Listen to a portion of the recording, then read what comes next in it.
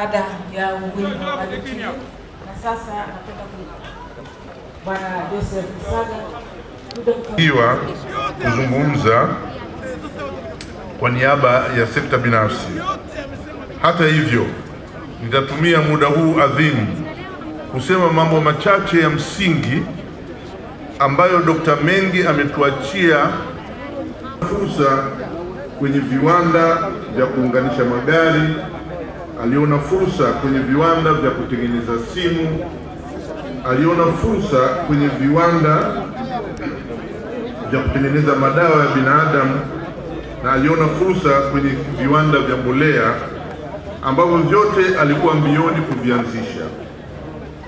Marehemu Dr. Mengi alikuwa anatamani sana kuona nchi ina mamilionea wengi kuanzia kule ubalozini Abu Dhabi na Dubai mpaka hapa Tanzania.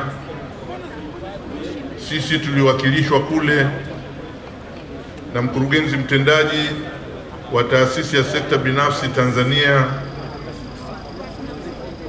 Bwana Simbeye ambaye alishirikiana na familia na serikali katika kuhakikisha shughuli zote zinatimia kama zilivyopangwa.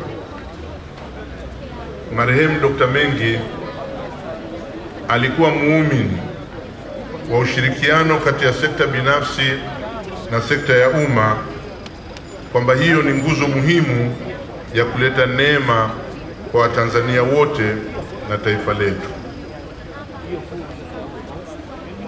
Dr. Reginald Mengi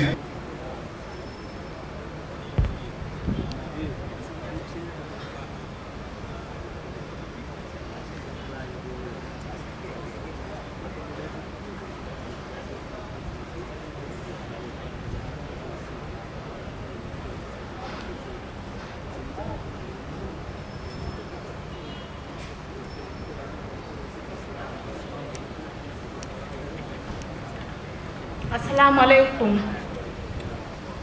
Tumsifu Yesu Kristu. Ndugu zangu, nimehemewa sana, nashindwa namna ya kwanza kwa sababu mara nyingi nilikuwa nikisimama mahali kama hapa nikimshukuru na kumpongeza baba yetu na rafiki yetu